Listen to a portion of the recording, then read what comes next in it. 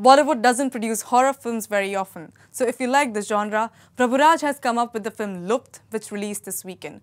It has an ensemble cast that has actors like Javed Jafri, Vijay Raaz, Nikki Aneja Walia, Meenakshi Dikshit, Rishabh Chadda, Karan Anand, and Rishina Kandhari. To begin with, it's a decent film that manages to scare you at certain points and has a good story as well. There are a few jump scares, and the background score, which plays a crucial role in any horror film, is quite good. Maybe the cinematography could have been a bit better to enhance the eeriness on the screen, but it's not bad either. The first half is quite good, but when the film resumes post-interval, it's quite a drag, with the thrill going down a bit. It picks up again towards the end when the suspense is revealed, ending the film on a decent and meaningful note.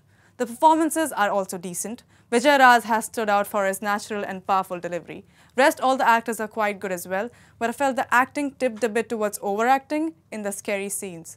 The expressions were maybe too dramatic and even the reactions seemed unreasonable for what was happening in the scenes. Karan Anand's character Rahul was absolutely unwanted though. There was nothing he did to even make his presence felt except for fetching the asthma pumps for his girlfriend Tanu. Apart from that, Lupt is a decent film and I'm giving it 3 stars. If you're a horror movies fan, then you can definitely give it a shot. For more movie reviews and celebrity interviews, keep watching It's Entertainment on Mirror Now. You first.